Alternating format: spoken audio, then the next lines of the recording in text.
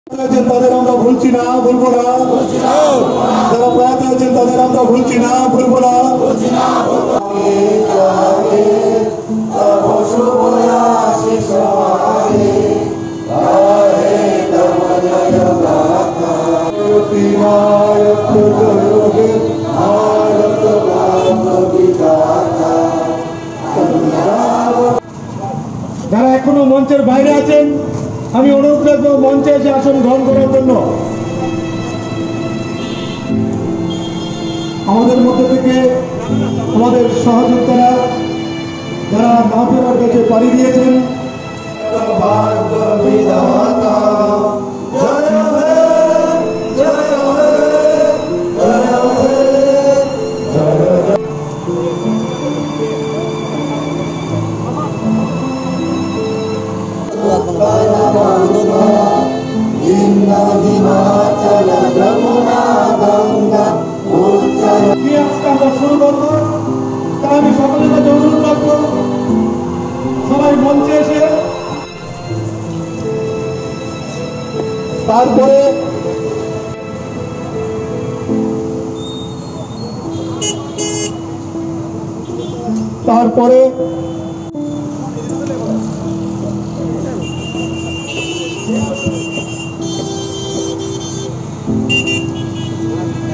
তারপরে তাদের আমরা ভুলছি না, ভুলবো না। যারা প্রয়াত হয়েছেন তাদের আমরা ভুলছি না, ভুলবো ধন্যবাদ।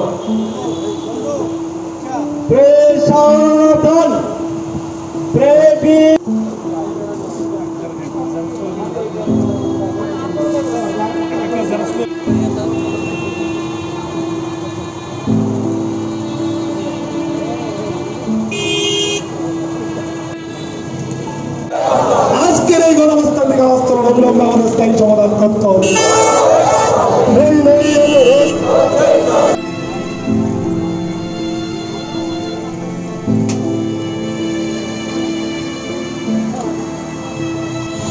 যারা প্রয়াত হয়েছেন তাদের স্মৃতির প্রতি পুষ্পার্ঘ অর্পণ করার জন্য।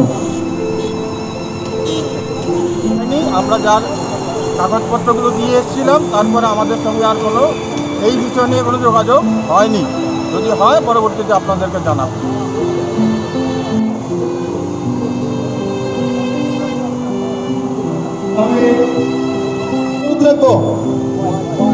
খোয়াই ডিস্ট্রিক্ট এবং উত্তর ত্রিপুরা থেকে আগত যে সমস্ত আমাদের সক্রিয় সদস্যরা আসছেন, তাদেরকে অনুরোধ রাখব, একে একে করে তাদের স্মৃতির প্রতি পুষ্পা তাদেরকে অনুরোধ রাখব অনুগুটি ডিস্ট্রিক্ট, গোমতী ডিস্ট্রিক্ট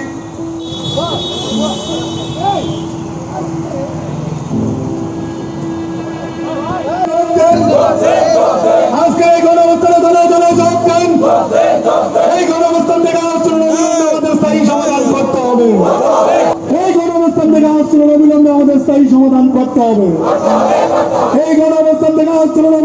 স্থায়ী সমাধান করতে হবে।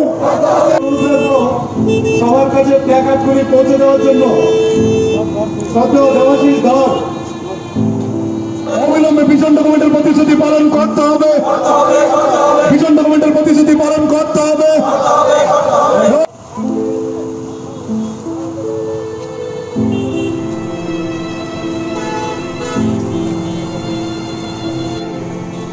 আমরা এবং তাদের স্মৃতির প্রতি আমরা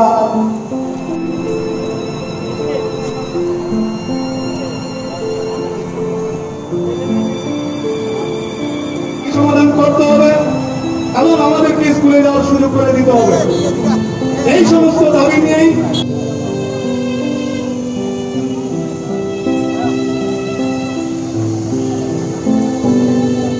সমস্ত কাগজে আমরা সরকারের কাছে দাবি রাখছি, অবিলম্বে চাকরি, আমাদের চাকরি আমাদের ফিরিয়ে দিন। অবিলম্বে আমাদের স্থায়ী সমাধান করতে হবে। অবিলম্বে আমাদের স্থায়ী সমাধান করতে হবে।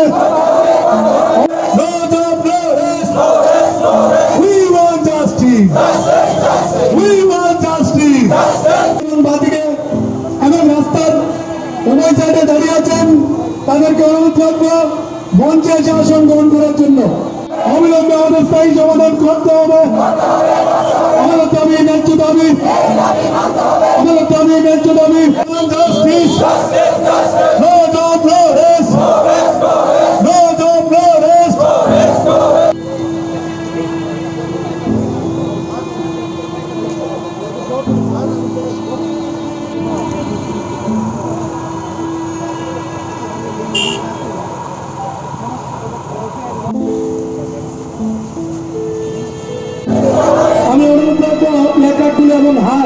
হাতগুলো দিয়ে সাংবাদিক বন্ধুরা আছেন তাদেরকে। আমি অনুরোধ লাইনটা যারা সামনের সারিতে আছেন চমুদা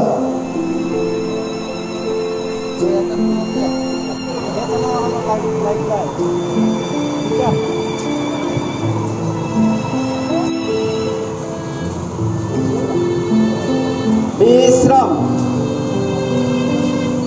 সবাইকে ধন্যবাদ এই আন্দোলন নাই নাই ধর্ণা নাই নাই গণঅবস্থান আজকের এই গণঅবস্থানে দল- এই আন্দোলন নাই নাই ধর্ণা নাই নাই অবরোধ আজকের দলে যোগ দেন এই গণঅবস্থান থেকে আস যারা প্রয়াত হয়েছেন তাদের আমরা ভুলছি না ভুলবো না যারা প্রয়াত হয়েছেন তাদের আমরা ভুলছি না পুষ্পার্ঘ অর্পণ করে এক মিনিট নিরবতা পালন করে আমরা আমাদের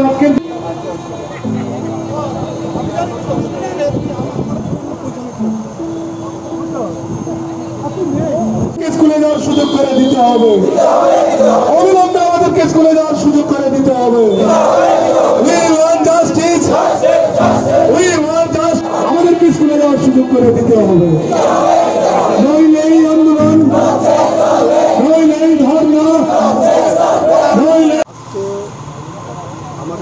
জয়েন্ট কমিটির পক্ষ থেকে একদিনের সিটিং ডেমনস্ট্রেশনের মূল উদ্দেশ্যটা হলো বর্তমান রাজ্য সরকার। আপনারা সবাই জানেন যে তারা দুই হাজার আঠারোর ইলেকশনের পূর্বে তারা দশ হাজার তিনশো তেইশটি স্থায়ী সমাধান করার জন্য অনেক কিছু কথাই বলেছিল।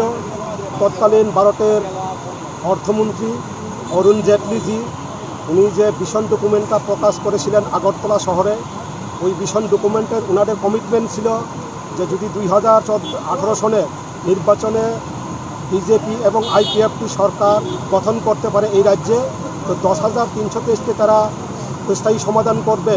প্রয়োজনে তারা ভারতের সংবিধান সংশোধন করেও, হলেও এই দশ হাজার তিনশো তেইশের স্থায়ী সমাধান করার জন্য তারা প্রতিশ্রুতি রেখেছিল।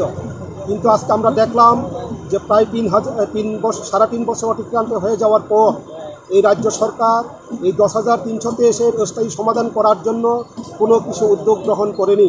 হয়তোবা আপনারা আমাদেরকে একটা প্রশ্ন করতে পারেন যে বর্তমান রাজ্য সরকার গ্রুপ সি এবং গ্রুপ ডিতে চাকরি দেওয়ার জন্য একটা পরীক্ষার ব্যবস্থা করেছে। আমি বলব, এই রাজ্য সরকার, এই গ্রুপ সি এবং গ্রুপ ডি, ওনারা, ওনাদের স্ব উদ্যোগে সেটা গ্রহণ করেনি।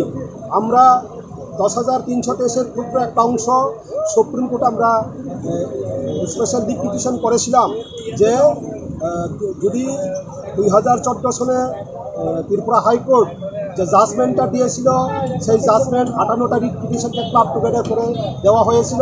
কিন্তু ওই জাজমেন্টে দেওয়ার আগে হাইকোর্টের পক্ষ থেকে নোটিশ ইস্যু করা হয়েছিল শুধুমাত্র চারশো বাষট্টি জনের বিরুদ্ধে। এবং রাজ্য সরকার যে এস এসএলপি দুই হাজার চোদ্দ সনে করেছিল সুপ্রিম কোর্টে তৎকালীন রাজ্য সরকার সেখানে ওনারাও স্বীকার করেছে যে হাইকোর্ট সবাইকে পার্টি করেনি। শুধুমাত্র আটান্নটা রিট করেছিল।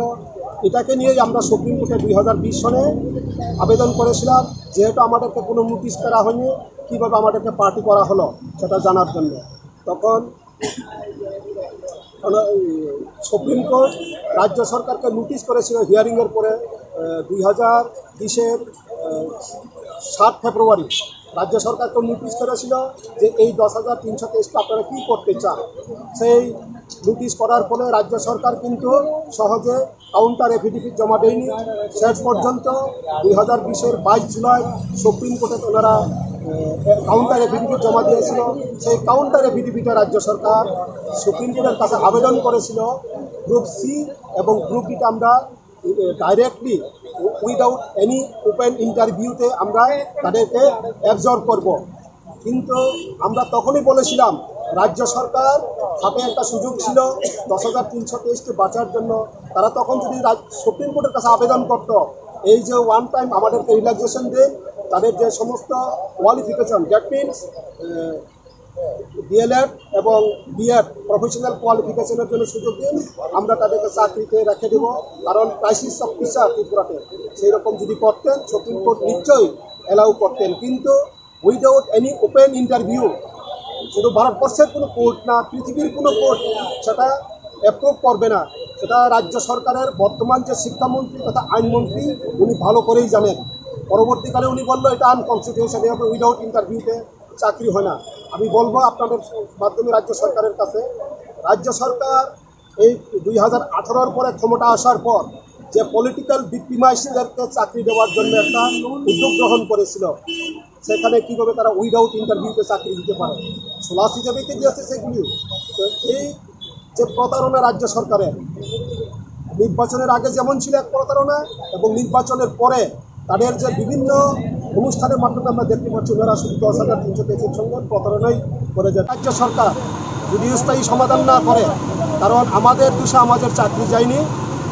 দেরিতে হলেও রাজ্যের বর্তমান শিক্ষামন্ত্রী তথা আইনমন্ত্রী উনি জেনেছেন, আমাদের কোয়ালিফিকেশনের জন্য আমাদের চাকরি যায়নি।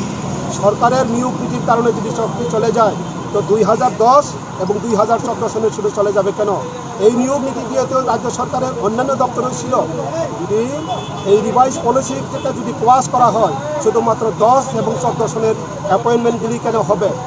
এখানে আর একটা বিষয় যে বারো সনের অ্যাপয়েন্টমেন্ট সেইগুলি তো সেম পলিসিতে এবং তারাও আমরা সঙ্গে যুক্ত, এই চাকরি কীভাবে থাকতে পারে? আমি প্রমাণ সহকারে যদি আপনারা চান, আমার কাছে সব কিছু প্রমাণ আছে, আমি প্র- প্রয়োজনে প্রমাণটা আপনাদের কাছে দেখিয়ে দিতে পারি। তাহলে আমরা বলব এই সরকার বা যে সরকারই হোক, দশ হাজার তিনশো কেসের সঙ্গে শুধুমাত্র প্রতারণা করে যাচ্ছে। দুই হাজার বারো সনের যে একটা রিট পিটিশন, রাজ্য সরকারও জানে, রাজ্যের হাইকোর্টও জানে যে এই রিট পিটিশন আমাদের সঙ্গে যুক্ত। তাহলে তারা কীভাবে থাকতে পারে, আমরা কেন থাকতে পারব না, সেটা নিয়ে আমরা সরকারের কাছেই হোক বা বিচার ব্যবস্থার কাছেই হোক আমাদের প্রশ্ন। আজকের এই ডেমনস্ট্রেশনটা মানে কি একদিনের জন্য না দীর্ঘায়িত করবেন? আজকে আমরা একদিনের জন্যই করব যদি রাজ্য সরকার কোনো উদ্যোগ গ্রহণ না করে পরবর্তীকালে। কিন্তু এই আন্দোলন আরও তীব্র থেকে তীব্রতর হবে। কি শহর, কি পাহাড়, আমরা এই আন্দোলনকে ডিসেন্ট্রালাইজ করে দেব আগামী কয়েকদিনের মধ্যেই। যদি আমরা জয়েন্ট মুভমেন্ট কমিটির পক্ষ থেকে গুরুজি কনফারেন্স হলের সামনে সকাল দশটা থেকে পাঁচটা অবধি একদিনের গণ অবস্থান করছি। আমাদের যে মূল দাবি যে আমাদের চাকরিটা যায়নি সুপ্রিম কোর্ট তথা হাইকোর্টের যে জাজমেন্ট এই জাজমেন্টকে ভুল ইমপ্লিমেন্ট করে আমাদেরকে রাজ্যের শিক্ষা দপ্তর বের করে দিয়েছে। টার্মিনেশনের কোনো কপি আজ অবধি আমরা পাইনি। সেই সুবাদেই আমরা আজকের এই গণ অবস্থান, এই গণ অবস্থান থেকে রাজ্য সরকারের কাছে আবারও আমরা আবেদন করব যে আমরা বিদ্যালয়ে ছিলাম, আমাদেরকে বিদ্যালয়ে যাওয়ার ব্যবস্থা করে দিন। যদি একই জাজমেন্টে থেকে ডাব্লিউবিসি ফাইভ থার্টি সেভেনকে ত্রিপুরা রাজ্যের মাননীয় হাইকোর্ট বাঁচাতে পারে, তাহলে আমরা কেন বাঁচব না? দু সালের পলিসিটাকে দেশের সর্বোচ্চ আদালত আনকনস্টিটিউশনাল ডিক্লেয়ার করে স্কোয়াশ করে দিয়েছে। সেই মর্মে এই পলিসির অন্যরা যদি চাকরি করতে পারে, তাহলে আমরা কেন করতে পারব না? তৎকালীন সময়ে রাজ্য সরকার এই পিক অ্যান্ড চুজ পদ্ধতি ইউজ করে এই পলিসির আন্ডারে দশ সালের এবং চোদ্দ সালের শিক্ষকদেরকে বিতাড়িত করেছেন। অথচ একই পলিসিতে চাকরি করে দু হাজার বারো সালের বিজ্ঞান শিক্ষকদেরকে রেগুলার করছেন।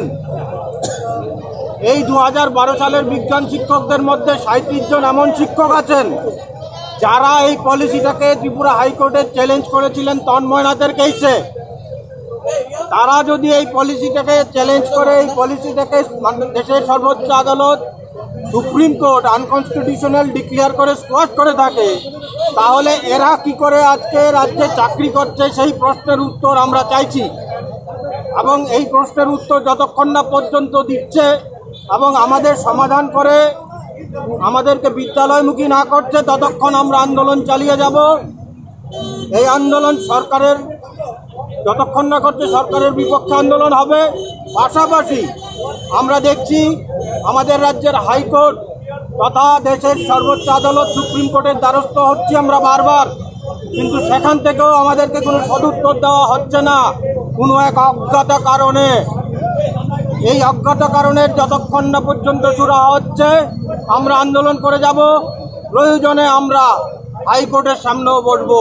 তাতে এখন আমাদের আর কোনো ভয় ভীতি নেই। কারণ আঠারো মাস ধরে বিনা দোষে আমরা কেন শাস্তি পাবো? আঠারো মাস ধরে আমরা কেন বেতন পাচ্ছি না?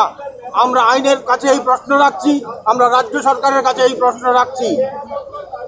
যদি একই পলিসিতে আইনের কাছে প্রশ্ন হলো, একই পলিসিতে অন্যরা চাকরি করতে পারলে আমরা কেন করতে পারব না?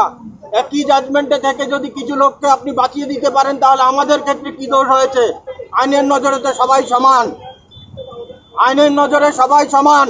তাহলে আমাদের রাজ্যের হাইকোর্টের নজরে দুটো, দুই চোখ দিয়ে দুই রকম কেন দেখা হচ্ছে? এই প্রশ্নটা আজকে আমরা এই রাজ্যবাসী, এই দশ হাজার তিনশো তেইশের পক্ষে রাজ্যের আইন, আইনের কাছে আমরা রাখছি। পাশাপাশি রাজ্য সরকারের কাছে দাবি করছি, আপনারা কোন আইনে ওদেরকে বাঁচিয়ে রেখেছেন? দেশের সর্বোচ্চ আদালত যখন এই পলিসিটাকে স্কোয়াশ করেছে, তাহলে এই পলিসির আন্ডারে কেউই চাকরি করার কথা ছিল না। আর না হয় একশো সাতাশ নম্বর প্যারাকে মান্যতা দিয়ে যেভাবে দু হাজার বারো সালের ওই চারজন শিক্ষককে ডাব্লিউবিসি ফাইভ থার্টি সেভেনকে বাঁচিয়েছেন, সেই মর্মে একশো সাতাইশ আমাদের জন্য কেন ইমপ্লিমেন্ট করা হবে না? আমরা তো কোনো নোটিশও পাইনি, এই চারজন তো কোর্ট থেকে নোটিশও পেয়েছিল। সেই প্রশ্নের উত্তর দিতে হবে, যতক্ষণ না দিচ্ছে, আজকে আমরা একদিনের গণ অবস্থান করে হয়তো বাড়ি চলে যাব। কিন্তু আগামী দিনের যে আন্দোলন হবে, সেই আন্দোলন কিন্তু আমরা রাস্তা ছেড়ে উঠবো না। তাতে যদি পুলিশ প্রশাসন গুলি চালায়, তাতে আমরা গুলি খাব, মৃত্যুবরণ করব। কিন্তু আমরা কিন্তু ছাড়ছি না, আমাদের দাবি থেকে এক চুলো লড়ছি না। আমাদেরকে আমাদের শিক্ষকতা ফিরিয়ে দিতে হবে। যে আইন দোক, রাজ্য সরকার দোক, তাতে আমাদের কিছু আসে যায় না। কিন্তু আমরা আমাদের দাবি থেকে নড়ছি না। আমাদের চাকরি যায়নি, ভুলবশত আমাদেরকে চাকরি থেকে বিতাড়িত করা হয়েছে। আমরা দেশের আইনের দ্বারস্থ হচ্ছি। আইন কোনো এক অজ্ঞাত কারণে বায়াসলি, আজকে আমি বলব, ত্রিপুরা হাইকোর্ট বলুন, সুপ্রিম কোর্ট, যে জাজমেন্টগুলো দিচ্ছে বারবার যাওয়ার পর, সেগুলো বায়াস্ট হয়ে দিচ্ছে। না হলে এইরকম হতে পারে না, যখন আমরা জানি দেশের সর্বোচ্চ আদালত একটা পলিসিকে স্কোয়াশ করেছে, এই পলিসির আন্ডারে অন্য কেউ চাকরি করতে পারে না। কিন্তু রাজ্য সরকার যখন পিক অ্যান্ড চুজ পদ্ধতিকে ব্যবহার করছে, আমরা জানান দিচ্ছি কোর্টের কাছে, কোর্ট নির্বাক কেন? তাহলে আমরা নিশ্চয়ই প্রশ্ন করব কোনো আইনের কাছে যে কোনো এক অজ্ঞাত কারণে আপনারা কি কারণে চুপ করে বসে আছেন? কি কারণে আমরা, দেশের সাধারণ নাগরিক, আমরা যখন আইনের দ্বারস্থ হয়ে দাঁড়িয়েছে, মানুষের আইনের প্রতি ভীতশ্রদ্ধ হয়ে যাচ্ছে। মানুষ আর আগামী দিন আইনকে বিশ্বাস করবে না যদি এই পথেই আইনি ব্যবস্থা চলতে থাকে। তাই আমরা যখন রাজ্যের মাননীয় মুখ্যমন্ত্রীর কাছে গিয়েছিলাম, আমরা কিন্তু বেশ কিছু কাগজপত্র দিয়েছিলাম। আপনারা ছিলেন সাংবাদিক বন্ধুরা। আমরা দিয়েছিলাম কি? আমরা দিয়েছিলাম রাজ্যের মাননীয় মুখ্যমন্ত্রী যেন আমাদেরকে আইনের পথে আমাদের শিক্ষকতার চাকরিটা ফিরিয়ে দিতে পারে, কারণ আমাদের চাকরিটা যায়নি। ভারতবর্ষের ইতিহাসে এক বিরলতম ঘটনা, এই রাজ্যের ছোট্ট রাজ্য, ত্রিপুরা রাজ্য, যেখানে কোর্ট থেকে কাউকে নোটিশ করা হয়নি, আমাদের মধ্যে যারা আছে, আমরা কেউই নোটিশ পাইনি, অথচ বিনা নোটিশে আমাদের ন্যাচারাল জাস্টিস হয়নি, আমাদেরকে চাকরি থেকে বিতাড়িত করা হয়েছে, আমরা আইনের দ্বারস্থ হচ্ছি, আইন নির্বাক। ভারতবর্ষের ইতিহাসে আর এই ধরনের কোনো ঘটনা আছে বলে আমাদের জানা নেই। আমাদের রাজ্য ছোট্ট রাজ্য, তাই মিডিয়ার বন্ধুদের কাছে আবেদন রাখব, এই বিষয়টা আমরা সর্বভারতীয় স্তরে ছড়ানোর চেষ্টা করছি। আপনারা সহযোগিতা করুন। ভারতবর্ষের মানুষ জানুক ছোট্ট রাজ্য ত্রিপুরাতে আইনি ব্যবস্থাকে কীভাবে বৃদ্ধাঙ্গুষ্ট দেখিয়ে রাজ্য সরকার আমাদেরকে বিতাড়িত করেছে। তাই আজকে এই গণধর্ণা মঞ্চ থেকে আমরা রাজ্য সরকারকে জানান দিতে চাই অনতি বিলম্বে এই দশ হাজার তিনশো তেইশের সমস্যার সমাধান করুন। না হলে দু হাজার তেইশে কিন্তু ইলেকশন প্রত্যেকটা রাজনৈতিক দলের উদ্দেশ্যে একটা বক্তব্য থাকবে এই গণধর্ণা মঞ্চ থেকে আমাদের। যদি আপনারা ভাবেন তেইশের ইলেকশন দশ হাজার তিনশো তেইশের সমাধান না করে করবেন, তাহলে ভুল পথে হাঁটছেন আপনারা। দশ হাজার তিনশো তেইশের সমস্যার সমাধান আপনাদেরকে সবাই মিলে করতে হবে। কি বলুন বিরোধী দল, কি বলুন সরকারের দল, সবাই মিলে কিন্তু আপনাদের এই সমস্যার সমাধান করতে হবে। না হলে দশ হাজার তিনশো তেইশ কিন্তু এক লক্ষ ভোটার নিয়ে বসে আছে। আমরাও জানি খেলা কীভাবে খেলতে হয়। সুতরাং আমাদের নিয়ে রাজনীতি করবেন না, নোংরামি করবেন না, প্রত্যেকটা রাজনৈতিক দলের কাছে আমরা অনুরোধ রাখছি, আপনারা মানবিক হন, মানবিক হয়ে এই সমস্যার সমাধান করার জন্য রাস্তায় নামুন, সরকারকে আবেদন করতে হলে আবেদন করুন, আমরা রাস্তায় আছি, আগামী দিন রাস্তায় থাকব। ধন্যবাদ Today, we 10,323 teachers have come here at Agartala to participate in one-day sit-in demonstration program called by Joint Movement Committee. Our program will be starting from uh, 10 in the morning and will last till 5 in the evening. So, uh, through this today's one-day sit-in demonstration program, we would like to convey a message to our uh, state government to fulfill their vision document. You all know that in the pre-poll election, the state government, the BJP IPFT government, before they came to power, they have given the assurance that if they come to power, they will definitely solve the problem. The burning issue of this 10,300 days, they will solve immediately as they come to power uh, after 2018 election. But what we have observed is that till now, the BJP IF, uh, IPFT government, they are into power. By now, it is already three and a half years. But till now, the burning issue of 10,300 test teachers is not being solved. And now, only one and a half year is left. So, we request the state government to immediately rescue us from this political trap. You know, we are extremely going through a miserable condition after illegal job termination since 30 March 2020. By now, these teachers are already sitting at home. By now, we are already one and a half year. So, due to which maximum of the teachers are unable to find any sort of work to make a better living all are left out of work and in between due to uh, pandemic situation also it have extremely hampered the livelihood of all these victim teachers. So through today's student demonstration program we request the state government the bjp IP, ipft government our honorable cm to immediately rescue us as they have promised in the vision document. You all know that we were illegally terminated by education department citing the reason of uh, supreme court and high court 2014 judgment but we were never made a party in the court. We were never made a party. We were neither respondent or neither petitioner in the court. So how can the unchallenged teachers be made a party in the court? We were never covered by Tonmoina judgment so that is why we request the education department also to immediately see into this matter because as per the judgment of Supreme Court and High Court, all the teachers were not supposed to be terminated. If the they have terminated citing the reason of policy, citing the reason of 2003 policy as illegal. If 2003 policy is illegal, so why only the teachers of 2010 and 2014 teachers should be terminated. In between 2012, they are also serving in education department with the same recruitment policy, but the rest of the teachers who are employed in 2010 and 2014 have been terminated.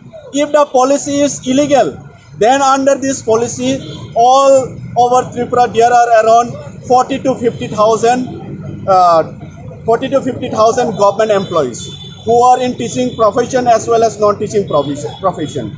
If policy is illegal, then all these employees should be terminated. So it is our humble request to honorable government and education department to rectify this error immediately and rescue all the victim teachers. Which you Thank name? you so much. Which you mean? My name is Dipankar Debarma. আমাদের অর্থাৎ joint movement committee দশ হাজার তিনশো তেইশের উদ্যোগে একদিনের গণ অবস্থান আমরা শান্তিপূর্ণভাবে এখানে গুরুজি কনফারেন্স হলের সামনে আমরা গণ অবস্থান করব। গণ অবস্থানের মুখ্য উদ্দেশ্য হল, এই সরকার, বিজেপি এবং আইপিএফটি সরকার আমাদেরকে প্রতিশ্রুতি দিয়েছিল সরকারে আসার আগে যে ক্ষমতায় আসলে ওনারা আমাদেরকে একটা পার্মানেন্ট সলিউশন করবে। আমাদের প্রত্যেককে কাজের ব্যবস্থা করবেন। কিন্তু দেখা গেল আজকে চল্লিশ মাস অতিক্রান্ত হলো। সরকারের কোনো ধরনের হেল দেই সরকার অন্ধনিদ্রায় আছেন। একশো ছয়জন প্রয়াত হয়েছেন। আমরা আর পারছি না। আমাদের পরিবারগুলো ভীষণ আর্থিক সংকটের মধ্যে দিয়ে দিন যাপন করছেন ছেলে মেয়েদের পড়াশোনার ব্যবস্থা করতে পারছি না। বৃদ্ধ পিতামাতাদের ওষুধের ব্যবস্থা করতে পারছি না। শত শত শিক্ষক বাড়িতে শয্যাশায়ী অবস্থা আছে। আমরা এখান থেকে আজকের এই গণঅবস্থানের মঞ্চে থেকে রাজ্য সরকারকে জানান দিতে চাই।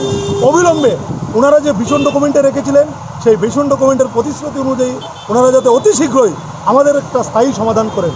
না হলে কিন্তু আমরা রাজ্য জুড়ে আজকে আগরতলা শহরে আছি। আগামী দিন আমাদের আন্দোলন গোটা রাজ্য জুড়ে কি পাহাড় বলুন, কি সমতল বলুন, সমগ্র ত্রিপুরা রাজ্যে আমরা বৃহত্তর থেকে বৃহত্তর আন্দোলনে ঝাঁপিয়ে পড়ব। এই আজকের এই গণঅবস্থান থেকে এই মেসেজটুকু আপনাদের মাধ্যমে রাজ্য সরকারকে জানান দিতে চাই। অবিলম্বে আপনারা আমাদের জন্য স্থায়ী সমাধান করুন। না হলে কিন্তু আমরা রাস্তায় এবং চরম থেকে চরম আন্দোলনের ঝাঁপিয়ে পড়তে বাধ্য হব। ধন্যবাদ। অবস্থানে আসা আমাদের তো একটাই আমাদের চাকরিটা ফিরিয়ে দেওয়ার জন্য। আজকে আমরা আঠারো মাস করে কোনো বেতন নাই, কোনো রোজগার নাই।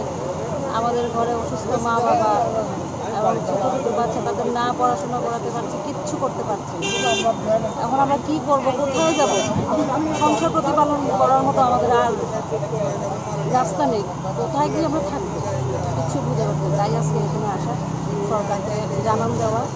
একটু বুঝুক আমাদের কথাটা। একটু তো উনি বুঝবেন। এই সরকারের কাছে আমাদের আজকে আমরা জয়েন্ট মুভমেন্ট কমিটির পক্ষ থেকে গুরুজি কনফারেন্স হলের সামনে সকাল দশটা থেকে বিকাল পাঁচটা অবধি একদিনের গণ অবস্থানে মিলিত হয়েছি। আজকের এই গণ অবস্থানের যে মূল উদ্দেশ্য, রাজ্য সরকারকে জানান দেওয়া যে দশ হাজার তিনশো তেইশের যে সমস্যা, সেই সমস্যা কিন্তু রাজ্য সরকার এখনও সমাধান করেনি। শুধু তাই নয়, আমরা যখন রাজ্যের মাননীয় মুখ্যমন্ত্রীর সঙ্গে দেখা করে কিছু কাগজপত্র দিয়ে এসেছিলাম, যার ভিত্তিতে আমরা চেয়েছিলাম যে আমাদের পুরনো চাকরিটা যেন আমরা ফিরে পাই, রাজ্যের মাননীয় মুখ্যমন্ত্রী কিন্তু তাতে নজর দেননি। তাই আজকে একদিনের এই গণ অবস্থান থেকে রাজ্য সরকারকে একটা হুঁশিয়ারি দিতে চাই, যেটা আজকে শুরু করছি আমরা একদিনের গণ অবস্থান থেকে। যদি রাজ্য সরকার আমাদের দাবি না মানে সেক্ষেত্রে আগামী দিন বৃহত্তর আন্দোলনে আমরা যাচ্ছি। তাতে যদি রাজ্য সরকার বেকায়দায় পড়ে, তার দায়ভার কিন্তু রাজ্য সরকারের। পাশাপাশি আমাদের পার্শ্ববর্তী রাজ্য পশ্চিমবঙ্গে বিজেপির একজন নেতৃত্ব মিথ্যা প্রচার করে যাচ্ছেন এই দশ হাজার তিনশো তেইশে শিক্ষকদের নিয়ে। উনি বলছেন, তেরো হাজার পদে নাকি আমাদেরকে দেওয়া হয়েছে। আমরা নাকি চাকরি করছি। এই ধরনের অপপ্রচার বিজেপির তরফ থেকে পশ্চিমবাংলায় করছেন। আর রাজ্য সরকার এইদিকে আঠারো মাস বিনা বেতনে আমাদেরকে রেখে দিয়েছেন। কোনো নোটিশ দেননি, কোনো টার্মিনেশন লেটার আমাদেরকে দেয়নি। পাশাপাশি আমরা আরও একটা জিনিস এই গণ অবস্থান থেকে জানান দিতে চাই। আগামী দিন প্রয়োজনে আমরা আইনে যেমন দ্বারস্থ হচ্ছি, আইনের বিরুদ্ধেও লড়াই করতে বাধ্য হব। যতক্ষণ না পর্যন্ত আইন আমাদেরকে সঠিক ন্যায় বিচার দিচ্ছে, কারণ একই পলিসিতে অন্যরা যদি চাকরি করতে পারে, আমরা কেন করতে পারব না?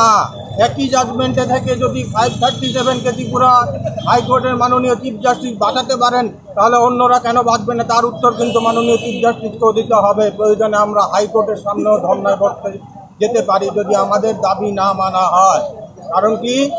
আঠারো মাস আমরা ধৈর্য ধরে বসেছিলাম, যদি রাজ্য সরকার কোনো ব্যবস্থা করে, কিন্তু এখন দেখছি রাজ্য সরকার সম্পূর্ণ উল্টো পথে হাঁটছে।